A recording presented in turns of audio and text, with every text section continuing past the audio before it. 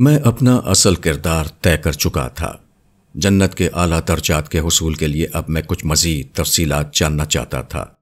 इस मकसद के लिए मैंने साले से दरियाफ्त किया।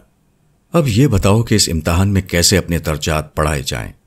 इसके लिए तुम्हें अपने मामलात और शख्सी रुझानात का फैसला करना होगा। अपने बचपन के उन हालात का इंतखब करना होगा, जिनसे तुम होश संभालने से कबल गुजरोगे। और वही तुम्हारी शख्सियत। सोच और आदात को फैसला कन रुख दे देंगे।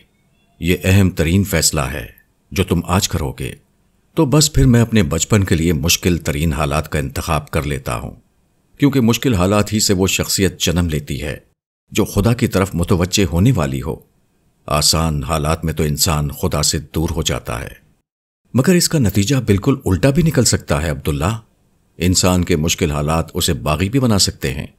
वो खुदा से नफरत भी कर सकता है। वो मुजरिम भी बन सकता है। मेरे खुदा, मैंने ये कहते हुए अपना सर पकड़ लिया। ये बहुत मुश्किल इम्तहान है। कोई आसानी नहीं हो सकती। बिल्कुल हो सकती है। तुम चाहो तो ये पर्चा इम्तहान छोड़कर अभी बाहर निकल सकते हो। खुदा की रहमत और अदल ने सारे दरवाजे खुले रखे हैं। इसकी क्या शक्ल होगी? तुम पैदा तो हो चुके हो। यह फैसला तो नहीं बदलेगा। तुम बचपन की मौत को कबूल कर लो। अल्लाह ताला तुम्हें किसी जगह इस तरह पैदा कर देंगे कि तुम्हारा इंतकाल बचपन ही में हो जाएगा। यूँ तुम इस इम्तहान से निकल जाओगे और नाकामी और जहन्नुम का हर अंदेशा भी खत्म हो जाएगा। और जन्नत का क्या होगा? तुम वहीं जाओगे। अगर नेक वालिदैन के यहाँ पैदा हुए तो उन्हीं के खुदाम के तौर पर, और किसी बदकार के यहाँ पैदा हुए तो किसी और जन्नती के खादिम के तौर पर उसके साथ रहोगे। खादिम बनने का तो कोई सवाल ही नहीं है। बादशाह बनने का मौका मिला है। मैं उसे कैसे छोड़ दूँ? मेरा लहजा बिल्कुल हतमी था। मैं ये अजीम मौका गंवाने के लिए हरगिज तैयार न था। चलो एक और काम करो। जवानी की मौत कबूल कर लो। जो कुछ नेकी इख्तियार करोगे, उसका बहुत ज़्यादा अजर मिलेगा। गुनाहों पर अल्लाह ताला बहुत दरगुजर से काम लेंगे। अगर कोई बड़ा गुनाह या सरकशी नहीं हुई तो जन्नत में जाने का बहुत ज़्यादा इम्कान है। मगर मगर कहते हुए साले रुक गया। जन्नत के आला तरीन दर्जात के इम्कान कम हो जाएँगे, क्योंकि जवानी में न पूरा शूर पैदा होता है, न इंसान बड़े पैमाने पर कोई काम कर पाता है कि मोहलत उम्र ज़्यादा नहीं मिलती। मुझे यह भी कबूल नहीं है। मैं जवानी की मौत कबूल नहीं करूँगा उधेड़ उम्र की भी कबूल नहीं करूँगा। मुझे यह जंग आखिरी दर्जे में जाकर लड़नी है। साले, बात सिर्फ़ जन्नत के बुलंद दर्जात की नहीं है। मुझे खुदा से शदीद मोहब्बत है। मैं ये नहीं चाहता कि खुदा की जंग जारी हो और मैं उस जंग को छोड़कर मैदानी जंग से निकल जाऊँ। मैं बुढ़ापे की उस उम्र तक इस जंग को लड़ूँगा, जब तक इंसान के हाथ पाँव और आजा व कवा काम करते हैं। फिर मैं शौक से अपने रब के हुजूर पेश होना चाहूँगा। साले ने मुझे गौर से देखा। फिर इस इंतखाब का मुमकिन मनफी नतीजा मुझे दिखाया। इसमें इम्कान यह भी है कि तुम बुढ़ापे तक खुदा की नाफरमानी करते रहो। याद रखना, जिस शख्स ने बुढ़ापा पा लिया और उसमें भी तौबा नहीं की तो बदतरीन अंजाम होगा, खासकर तुम्हारे जैसे शख्स के लिए, जो कोई मजहबी ज़िम्मेदारी उठाने जा रहा हो। क्योंकि ऐसे लोग अगर गुमराह हो जाएँ तो उनके पुख्ता हो जाने वाले तासुब कभी उन्हें हिदायत की तरफ़ वापस आने नहीं देते। लेकिन खुदा से तुम्हारी शदीद मोहब्बत, मुझे उम्मीद है, रंग लाएगी। साले ने पुरुम्मीद अंदाज में अपनी बात खत्म की। मैंने एक लम्हे के तरद के बगैर कहा यह मोहब्बत ही कह रही है कि मैं कोई समझौता ना करूँ। तुम्हारे कहने पर मैं नबियों के दौर से तो निकल चुका हूँ, मगर इससे नीचे नहीं जाऊँगा। मैं बचपन से बुढ़ापे तक एक भरपूर जंग लड़ूँगा। कर दो मेरे बचपन को बहुत मुश्किल। मैं उस मुश्किल से गुजर जाऊँगा। ताहम यह बताओ कि मैं खुदा की तरफ़ मुतवजे कैसे होऊँगा?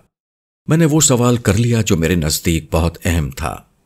तुमने जो किरदार अपने लिए पसंद किया है, उसके लिए तुम तक किसी ना किसी तरह पूरी रहनुमाई आ जाएगी। तुम्हें खुदा की हिदायत बर रास्त पहुँचा दी जाएगी। कोई किताब, कोई तहरीर, कोई तकरीर, कोई सोहबत तुम पर खुदा की राह वासे कर देगी। कोई हादसा, कोई वाकया, कोई मुश्किल, कोई सानहा तुम्हारे दिल को हिदायत कबूल करने के लिए तैयार कर देगा। उस वक्त तुम्हें फैसला करना होगा कि तुम्हें क्या करना है? अगर तुम उस हिदायत को नजरअंदाज कर दोगे तो यह मौका खत्म हो जाएगा। और कबूल कर लोगे तो फिर तुमको ये मौका भरपूर तरीके से दे दिया जाएगा। गरचे इस राह के अपने इम्तहान हैं। कभी खुदा से ज़्यादा गैर अल्लाह को अहमियत नहीं देना। कभी सच्चाई को नहीं छोड़ना। कभी मायूस ना होना। कभी ख्वाहिश और तासुब के असीर नहीं होना। कभी अना और खुदनुमाई के मरीज़ ना बनना।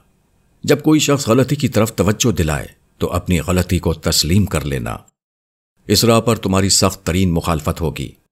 तुम्हें बर्दाश्त करना होगा। तुम्हारे साथी तुम्हें छोड़ जाएँ, तुम्हारे मुखालिफ हो जाएँ, ये सब हौसले से सहना होगा। तुम बेहद सहीन बनाए जाओगे। तुम्हारे पास दुनिया कमाने और मालो दौलत इकट्ठा करने के भरपूर मौाक़े होंगे। मगर तुम्हें ज़िंदगी के ऐशो इशरत को अपना मकसद नहीं बनाना होगा। कर लोगे ये सब कुछ? मैंने पूरे अज़म के साथ जवाब दिया, मेरे रब ने चाहा तो कर लूँगा। मजीद सुनो, नबियों की उम्मतें फिर कवारियत और तासुबात की मरीज़ होंगी। ये दीन की असल दावत को छोड़कर दीन में इजाफे और तब्दीलियाँ करेंगी और फिर उन्हीं को असल दीन बनाकर, लोग असल दीन को छोड़कर अपने फिरके और मसलक को सब कुछ समझेंगे। खुदा को छोड़कर अपने बड़ों के इश्क और अजमत में जिएँगे। तुम्हें उनमें से हर चीज़ को छोड़ना होगा। यह करना उतना ही मुश्किल है, जितना रसूल का उसकी ज़िंदगी में साथ देना। देख लो, क्या ये सब कर लोगे? अल्लाह ने चाहा तो ज़रूर करूँगा। मगर इसमें कोई आसान वाला पर्चा है तो बताओ। आसानी चाहते हो तो आखिरी नबी की उम्मत में पैदा हो जाओ। और इससे भी ज़्यादा आसानी चाहते हो तो बिल्कुल आखिरी जमाने का इंतखाब कर लो। इससे क्या फ़ायदा होगा? इससे फ़ायदा यह होगा कि आखिरी नबी की तमाम तालीमात उनके बाद भी मुकम्मल तौर पर महफूज रखी जाएँगी। यह तालीम कोई नबी नहीं देगा कि उससे इख्तलाफ कुफर का बाइस बन जाए। लेकिन वो उसी तरह महफूज होगी, जैसे किसी नबी की जबान से मिलने वाली तालीम महफूज होती है। यूँ हिदायत तो पूरी वही नबी वाली मिलेगी। मगर बर रास्त नबी के कुफर का अंदेशा नहीं रहेगा, जिसकी सजा अबदी जहन्नुम है। और आखिरी ज़माने का फ़ायदा यह है कि अल्लाह ताला उस दौर में ज़राए अबलाग को इतना वसी कर देंगे। कि तुम कहीं भी हो, तुम तक उसका पैगाम पहुँच जाएगा। और सबसे बढ़कर खुद तुम्हारे लिए मौका होगा कि तुम पूरी दुनिया में खुदा का पैगाम पहुँचा दो। बस तो ये ज़बरदस्त काम हो गया। यही कर लो। मगर इसमें भी मसाइल हैं। भाई, हर चीज़ में मसाइल क्यों होते हैं? इसलिए कि यह इम्तहान है। हर मुस्बत मौके में एक मनफी इम्कान होता है और हर मनफी मौके में एक मुस्बत इम्कान होता है। यह तो तुम पर है कि तुम क्या करते हो। अच्छा बताओ, इसमें क्या मसला है? दुनिया उस दौर में बहुत रंगीन हो चुकी होगी। वो नेमतें जो कभी बादशाहों की दस्तरस में नहीं होंगी, एक आम आदमी की दस्तरस में आ जाएँगी। शोहरत के मौाक़े बहुत होंगे, इसलिए गफलत और रियाकारी का अंदेशा भी बहुत होगा। मैं सामना कर लूँगा। और हाँ, जो काम तुम करोगे, उसकी मुखालफत भी बहुत होगी। उसके लिए भी तैयार रहना। शयातीन जिनो इंस भी तुम्हारे खिलाफ होंगे। हाँ यह तो मैं इस पर्चा इम्तहान में पढ़ चुका हूँ कि शयातीन गुमराह करने का काम करेंगे। वो गुमराह तो ज़रूर करेंगे, लेकिन तुम्हारे काम की वजह से तुम्हारी सख्त मुखालफत भी करेंगे। मैं उनकी मुखालफत कैसे बर्दाश्त कर पाऊँगा? मैं तो बहुत तनहा और कमज़ोर होऊँगा। ऐसा नहीं है। अगर तुम सही रास्ते पर चले तो खुदा तुम्हारे साथ रहेगा। वो हर कदम पर तुम्हें बचा लेगा। बस शर्त यह है कि उसे पुकारते रहो। उसी से लौ लगाए रखना। वो अपने मुखलसिन को कभी खाली हाथ नहीं लौटाएगा। हाँ, ख्वाहिश और तासुब से बुलंद रहना यह खुदा से दूर कर देंगे। बस तो फिर कोई परवाह नहीं। यही सब कुछ लिख दो मेरे लिए। यह मेरा हतमी और कतई फैसला है। अल्लाह रब्बुल इज़्ज़त ने चाहा तो इन शयातीन और राह की हर मुश्किल से मैं बखूबी निमट लूँगा। ठीक है। हो गया फैसला। अब अगली दुनिया में देखेंगे कि तुम क्या करते हो।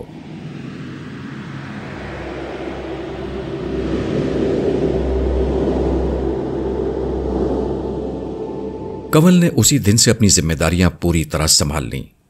वो अपने शोबे की एक इंतहाई माहिर तबीब थी। इसके साथ उसके अंदर अपने काम से वाबस्तगी का गैर मामूली चस्पा था। इस पर मुस्तजाद उसके अंदर मौजूद इंसानी हमदर्दी का अंसर था। इन सब चीज़ों ने उसे अपने शोबे में बहुत मुमताज़ कर दिया था। वो जानती थी कि इंसान सिर्फ़ जिसम का नाम नहीं, वो एक नफ्सियात का नाम है। खासकर उसके शोबे में जहाँ बास औकात मरीजों पर कोई दवा असर नहीं करती, वहाँ मरीजों की नफ्सियात एक अहम किरदार अदा करती है। यही उसके पीएचडी के मकाले का मौसू भी था। चुनाचे वो मरीजों को एक्सरसाइज कराने के साथ उनका हौसला बुलंद करने, उनमें यकीन पैदा करने और उन्हें अपने ऊपर एतमाद देने का काम भरपूर तरीके से करती थी। यही सब कुछ उसने जोसेफ के साथ शुरू कर दिया। जोसेफ उसके बहुत से मरीजों में से एक मरीज़ न था, बल्कि उसका तनहा मरीज़ था। उसका काम तो दिन में तीन दफ़ा एक्सरसाइज कराना था, मगर वो बेशतर वक्त जोसेफ के कमरे ही में रहती थी। वो जानती थी कि जोसेफ को बोलने में मसला था, सुनने और देखने में कोई मसला नहीं था। उसका जहन भी पूरी तरह काम कर रहा था। चुनाचे वो हर वक्त जोसेफ को किसी न किसी काम में मशगूल रखती, उसे अखबार जरायद पढ़कर सुनाती, उसके शेल्फ में मौजूद किताबों के इकतसाबात सुनाती, उन पर तबसरे करती, मुख्तलिफ़ टीवी प्रोग्राम और फ़िल्में दिखाती, उनकी कहानियों पर जोसेफ से डिस्कशन करती। उसने जोसेफ को यह महसूस नहीं होने दिया कि वो बोल नहीं पा रहा। वो उससे ऐसे ही बात करती, जैसे कि वो जो कुछ कह रहा है, वो समझ रही है।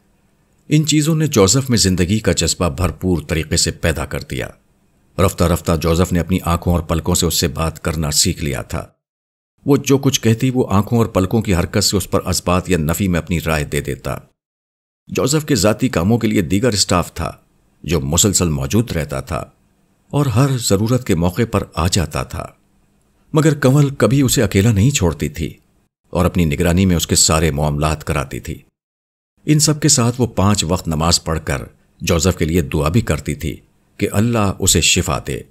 वो ये काम अपने हर मरीज़ के लिए ही करती थी। मगर यहाँ सिवाय जोसेफ के और कोई ना था। कंवल की मेहनत, जज्बा और दुआएँ रंग लाने लगीं। रफ्ता रफ्ता जोसेफ की हालत बेहतर होने लगी। वो अपने जिस्मानी आज़ा को आहिस्ता आहिस्ता हिलाने के काबिल हो गया। फिर एक रोज जब वो जोसेफ के कमरे में असर की नमाज़ पढ़कर दुआ मांग रही थी तो उसने हल्के से अपना नाम सुना। कंवल। उसने पलट कर देखा तो जोसेफ उसकी तरफ़ देख रहा था। उसकी आँखों से आँसू बह रहे थे। उसने लरसती हुई आवाज़ में दोबारा कहा कंवल, मेरे लिए भी दुआ करना। कंवल हैरत और बेयकीनी के जज्बात के साथ जाए नमाज़ से खड़ी हो गई। उसके चेहरे पर गहरी मुस्कुराहट छा गई। तुम बोलने लगे जोसेफ? ये कहते हुए वो धीरे से चलते हुए जोसेफ के पास आ गई। जोसेफ ने अपना हाथ आगे बढ़ाया। कमल ने उसका बड़ा हुआ हाथ थाम लिया। जोसेफ ने आँखें बंद कर ली। उसके दिल के अंदर मौजसन अल्फाज जो कई दिनों से अपना रास्ता नहीं पा रहे थे, आज उसकी जबान से बमुश्किल अदा हो गए। Thank you for every thing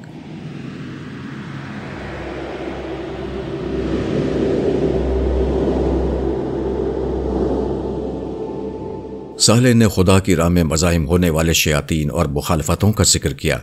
तो मेरे जहन में एक सवाल पैदा हुआ। साले, तुमने अभी तक दुश्मनों, मसाइल और मुश्किलात ही का ज़िक्र किया है। क्या इस रास्ते में कोई दोस्त, साथी, मददगार भी होगा या मुझे सब कुछ अकेले करना है? नहीं नहीं, ऐसा नहीं होगा। राह खुदा में दुश्मन होते हैं तो दोस्त भी मिलते हैं। तुम्हारे साथी होंगे, मददगार होंगे, मोहब्बत करने वाले होंगे। अकेला आदमी कोई जंग नहीं लड़ सकता। जिस तरह शयातीन के लश्कर होते हैं उसी तरह रहमान के बंदे भी शैतानों के खिलाफ आपस में जुड़ जाएँगे। चलो ये एक अच्छी खबर तुमने सुनाई है। हाँ खुदा की मदद अपने बंदों के लिए दूसरे बंदों और बंदियों की शक्ल ही में आती है। अगर तुम साबित कदम रहे तो अल्लाह ताला तुम्हें वो मददगार देंगे, जो तुम्हारे काम को बहुत आगे पहुँचा देंगे। वो जहनी, जिस्मानी, माली, इंतजामी और ज़ाती तौर पर तुम्हारी मदद करेंगे। तुम कभी भी अकेले नहीं होगे। ये लोग हर हर पहलू से तुम्हारा सहारा बनेंगे। क्या मैं उनसे किसी से मिल सकता हूँ? देखो अब्दुल्ला, ये तो अभी किसी को नहीं पता कि कौन किसके साथ होगा। लेकिन ये कहते हुए साले ने मेरे रजिस्टर को गौर से देखना शुरू किया और फिर कुछ देर में बोला, मैं किसी ऐसे शख्स को ढूँढने की कोशिश करता हूँ, जिसने तुम्हारे जमाने में मिलते जुलते मामलात का इंतखब किया हो। फिर वो किसी न किसी हवाले से तुम्हारे करीब आए या तुम्हारे ज़रिए से उसे हिदायत पहुँचे। फैसला तो बहरहाल वही करेगा। मगर उसने हिदायत कबूल करने का फैसला किया तो फिर मुमकिन तौर पर उसे तुम्हारा साथी बना दिया जाएगा। आखिरी फैसला तकदीरों का मालिक खुद करेगा। ये कहते हुए उसने इर्द गिर्द देखना शुरू किया। यहाँ हर समत बेअंदाजा लोग थे। सब अपने अपने मामलात में मशगूल थे। किसी को फुर्सत ना थी कि वो किसी और को देखे। इसलिए कि जो फैसले वो आज कर रहे थे, उसके नतज न सिर्फ़ इम्तहान की अगली दुनिया में बल्कि अबदी तौर पर बाकी रहने वाली आखिरत की दुनिया में भी निकलने थे। ऐसे में किसके पास वक्त था कि किसी दूसरे को देखे? उसकी परवाह करे या उसके बारे में सोचे? साले की नज़र एक जगह रुक गई और वो बोला ठीक है मिल गया। कौन मिल गया? आ, कैसे मिल गया? मैंने हैरत से पूछा तो साले ने एक शख्स की तरफ़ इशारा करते हुए बताया मैं यहाँ मौजूद हर फरिश्ते से रबता कर रहा था। उस आदमी के साथ मौजूद फरिश्ते ने मुझे बता दिया कि यह शख्स तुम्हारी तरह अपने फैसले कर चुका है। अगर उसने खुदा की रहनुमाई को कबूल किया और तुम भी ठीक जगह खड़े रहे तो ये ज़िंदगी में कभी ना कभी तुम्हारे पास आएगा और फिर तुम उसकी ज़िंदगी का रुख मोड़ोगे। उसके बाद मुमकिन तौर पर यह तुम्हारा साथी बन जाएगा। और अगर हम दोनों ने ठीक रवैया इख्तियार न किया तो? मैंने सवाल किया तो साले ने बगैर किसी लिहाज के जवाब दिया। दोनों अपने अंजाम को पहुंचोगे। इसलिए सोच समझकर फैसला करो। तुम्हारे हर फैसले के नतज पहले अगली दुनिया में निकलेंगे, और तुमने दुरुस्त रवैया इख्तियार न किया तो फिर क्यामत के बाद बनने वाली अबदी दुनिया में बर्बादी तुम्हारा मुकद्दर बनेगी। मैं पीछे नहीं हटूँगा। मैंने पूरे अज़म के साथ कहा, मेरी बात पर उसने मेरा हाथ पकड़ा, और उस आदमी की समझ चल पड़ा। करीब पहुंचकर साले ने उससे कहा ये अब्दुल्ला हैं। तुमसे मिलना चाहते हैं। ये क्यों मुझसे मिलना चाहते हैं? उस आदमी ने हैरत से सवाल किया। तुमने अपने लिए जो परचाए इम्तहान चुना है, उसमें एक रोज तुम तक हिदायत पहुंचाई जाएगी। तुमने उस हिदायत को कबूल किया तो खुदा के यहाँ कुर्ब का मकाम पाओगे। जो इम्तहान चुना है, उसमें सुरखरू होगे। वरना, साले ने वरना के आगे कुछ नहीं कहा, इसलिए कि दूसरी सूरत सबको मालूम थी। नहीं, ऐसा नहीं होगा। मैं ज़रूर हिदायत कबूल करूँगा, चाहे कितनी भी मुश्किल क्यों ना झेलनी पड़े। फिर वो मेरी तरफ़ देखते हुए बोला, आपसे मिलकर खुशी हुई अब्दुल्ला? मुझे भी बहुत खुशी हुई है। आपका नाम क्या है? मैंने अपने लिए यूसुफ नाम चुना है। उस आदमी ने जवाब दिया तो उस आदमी के साथ खड़े हुए फरिश्ते ने उसकी तसी करते हुए कहा, हिदायत पाने के बाद तुम यूसुफ कहला सकोगे। वरना इससे कबल तुम्हारा नाम जोजफ होगा और तुम इसी हैसियत में मरोगे। इन अल्फाज के साथ ही मंजर एकदम से रुक गया, क्योंकि कमल अपनी जगह से खड़ी हो गई थी। उसके हाथ से वो अंगूठी निकलकर ज़मीन पर पड़े दबीस कालीन पर गिर चुकी थी, जो अब्दुल्ला ने उसे दी थी। अब्दुल्ला ने गर्दन उठाकर उसे देखा। उसके चेहरे पर ऐसे तासुरात थे, जिन्हें अल्फाज में बयान नहीं किया जा सकता। शिद्दत जज्बात से उसका चेहरा सुर्ख हो चुका था। सरदार, मैं इजाज़त चाहती हूँ।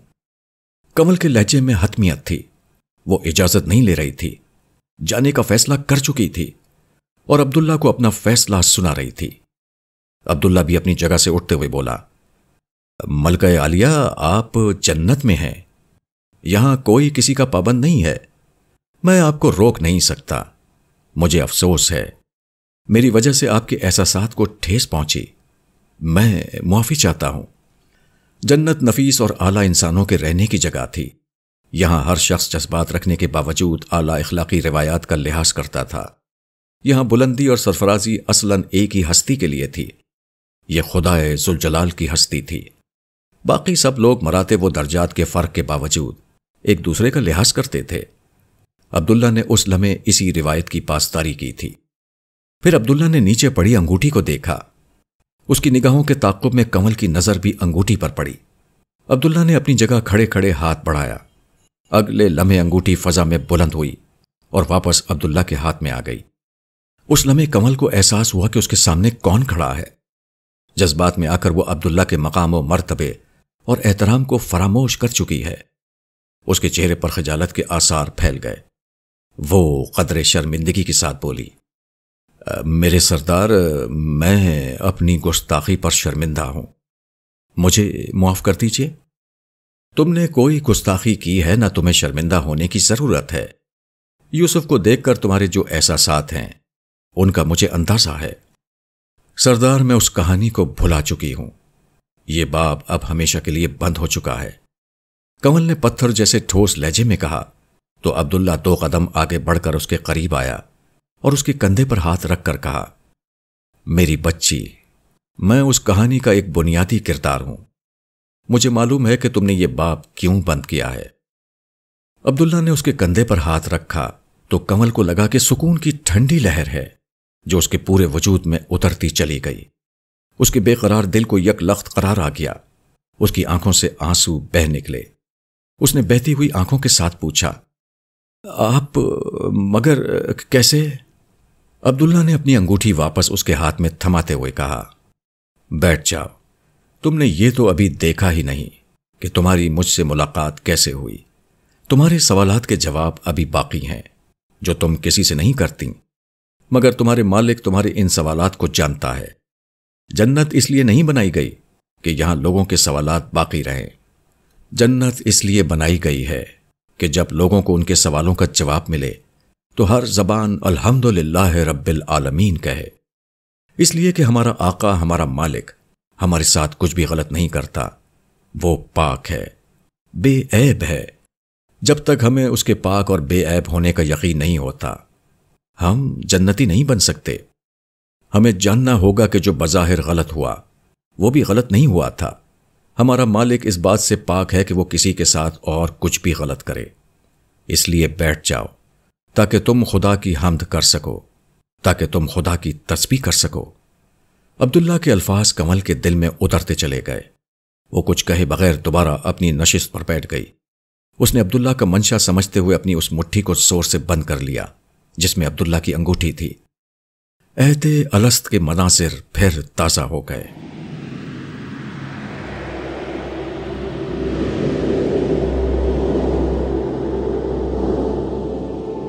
जोसेफ की गोयाई का लौट आना एंडरसन के लिए बहुत बड़ी खबर थी।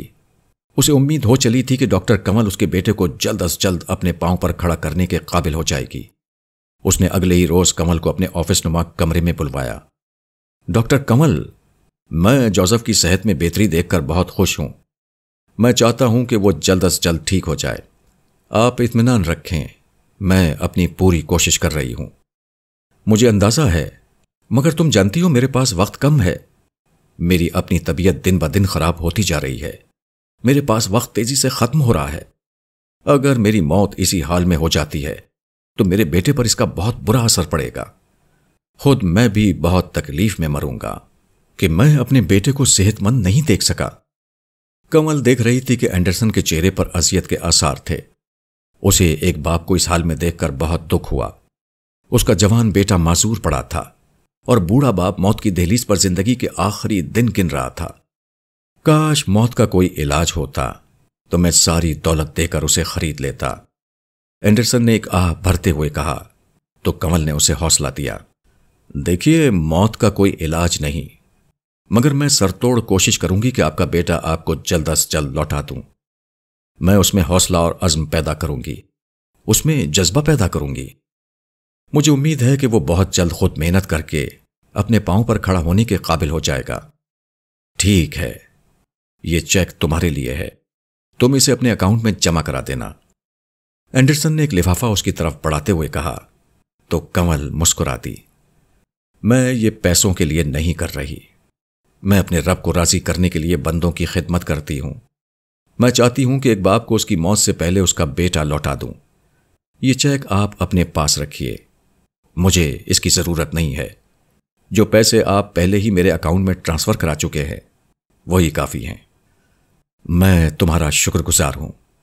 एंडरसन के लहजे में तशक्कुर था। कमल एक मुस्कुराहट के साथ उसका जवाब देते हुए अपनी जगह से उठ गई।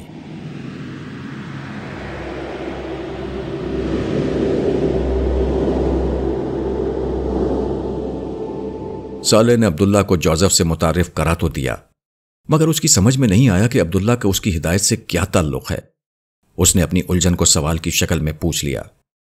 मैं ये बात नहीं समझ सका कि अब्दुल्ला का मेरी हिदायत से क्या ताल्लुक है। इस सवाल पर साले के बजाय जोसेफ के साथ मौजूद फरिश्ते ने उसे समझाया। ताल्लुक है। तुम्हें हिदायत मुमकिन तौर पर अब्दुल्ला ही के ज़रिए से पहुंचेगी।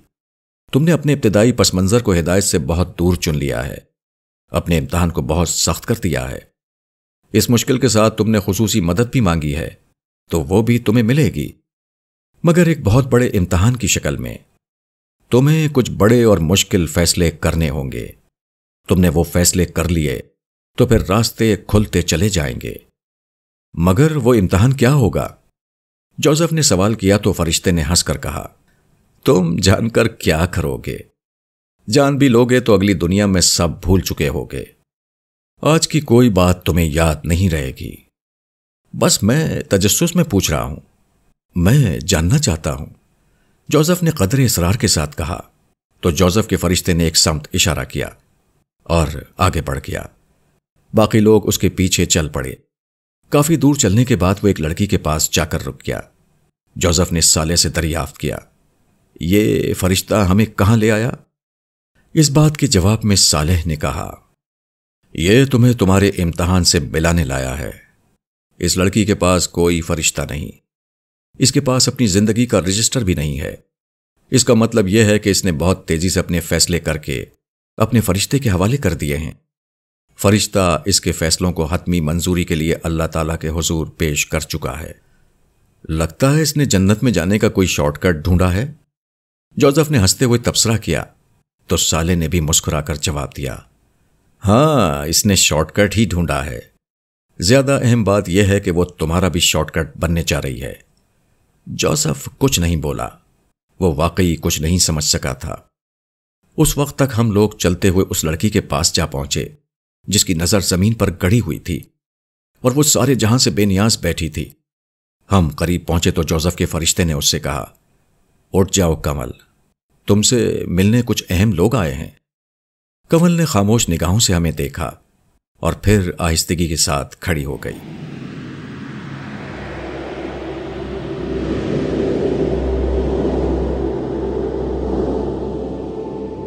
तुम कहाँ थी? कमल कमरे में दाखिल हुई तो जोसेफ ने उसे देखकर कहा, वो कमल से बहुत मानूस हो चुका था। मिस्टर एंडरसन ने मुझे बुलाया था। वो तुम्हारी प्रोग्रेस पूछ रहे थे। मैं समझ सकता हूँ। उनकी बीमारी से मैं वाकिफ हूँ। जोसेफ ने उदास लहजे में कहा, जोसेफ, मायूस ना हो। अल्लाह ने चाहा तो तुम जल्द ही ठीक हो जाओगे। चलो, मैं तुम्हें आज के अखबार की खबरें सुनाती हूँ। कंवल ने करीब टेबल पर रखे ताज़ा अखबार को उठाया तो जोसेफ ने उसे टोक दिया, नहीं कंवल, मुझे आज खबरें ना सुनाओ। मुझे अपने बारे में बताओ। अपनी ज़िंदगी के बारे में। मेरी ज़िंदगी में सिवाय दुखों के बताने के लिए कुछ भी नहीं है। तुम सुनोगे तो और परेशान होगे। तुम्हें इस वक्त सिर्फ़ अच्छी बातें सुननी चाहिए। नहीं, मैं परेशान नहीं होगा तुम इतमान से बताओ। कमल कुछ देर सोचती रही। उसे समझ नहीं आ रहा था कि क्या बताए और क्या ना बताए। उसे खामोश देखकर जोसेफ ने कहा, मैं जानना चाहता हूँ कि तुम अपने दुखों के बावजूद अपना हौसला कैसे बरकरार रखती हो। इससे मुझे भी हौसला मिलेगा। तुम जानती हो मेरे वालिद के मसले को। मैं तकलीफ़ में हूँ। मुझे हौसला चाहिए। जोसेफ के इसरार पर कमल ने अपनी ज़िंदगी के राज खोलने शुरू किए। वो बातें जो उसने कभी किसी से नहीं कही थीं, वो बातें जिनकी याद भी उसके लिए तकलीफ़ दे थी। मेरे माँ बाप मेरी पैदाइश से पहले अमेरिका आ गए थे। मेरे वालिद का नाम वीज़ा लॉटरी में निकला था। उनके अंदर कोई ज़्यादा काबिलियत या सलाहियत ना थी। मेरी वालदा एक घरेलू खातून थी। वो सिर्फ़ अपने खाविन का साथ देने के लिए सब रिश्ते नातों को छोड़कर सात समंदर पार यहाँ आई थी। यहाँ आने के बाद मेरे वालिद साहब बेराह रवि का शिकार हो गए। अव्वल तो वो ज़्यादा कुछ कमाते नहीं थे। जो कमाते उसे दीगर औरतों शराब और चूहे में उड़ा देते थे।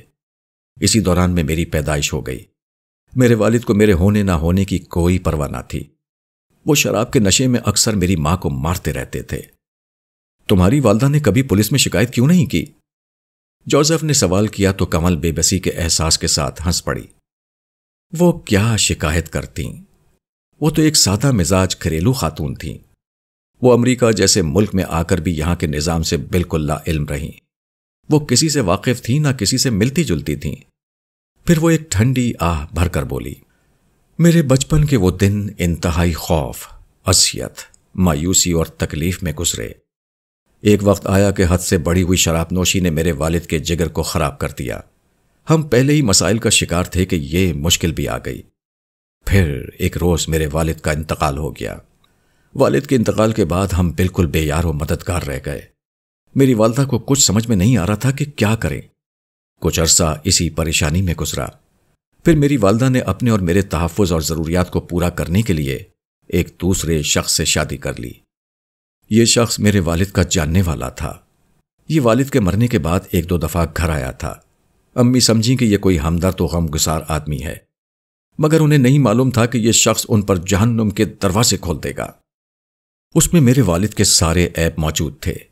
उसने बेरा रवि, शराब नोशी तशद पसंदी और इनसे बढ़कर एक रोज उसने बाप और बेटी के तकदस का रिश्ता भी पामाल कर दिया। ये कहते हुए कमल अपना मुँह छुपाकर फूट फूट कर रोने लगी। जोसफ पूरी कुत से अपने बिस्तर से उठने की कोशिश करने लगा। कि उसे तसल्ली दे सके, लेकिन वो अपनी जगह से हिल नहीं सका। उसे अपनी बेबसी पर शदीद गुस्सा आया, मगर वो कुछ कर नहीं सकता था। वो बेबसी से बोला, कंवल, मैं माफ़ी चाहता हूँ। मैंने तुम्हारे जख्म ताज़ा कर दिए। तुम कुछ और ना बताओ। मुझे बोलने दो। मेरे अंदर दुखों और महरूमियों का एक लावा भरा हुआ है। ज़िंदगी में पहली दफ़ा किसी को यह सब कुछ बता रही हूँ। और शायद आइंदा कभी किसी को बताने की हिम्मत अपने अंदर न पैदा कर सकूँ। कंवल ने अपने आँसू पोछते हुए जवाब दिया ठीक है, मैं सुन रहा हूँ।